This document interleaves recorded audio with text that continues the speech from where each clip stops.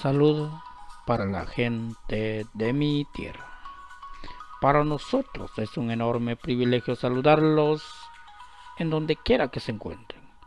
Al mismo tiempo dejarles este pequeño mensaje de salud, ya que hoy responderemos algunas preguntas que nuestros amigos y amigas seguidores nos han hecho llegar a través de nuestra página Salud para la gente de mi tierra.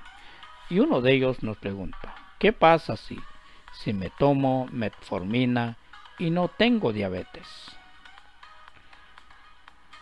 Recordemos que aparte de consecuencias de carácter leve como diarrea, vómitos, dolor de estómago o cansancio, si se toma la metformina para adelgazar sin ser diabético, se corre el riesgo de generar problemas de páncreas. Además, también puede provocar cuadros de hipoglucemia.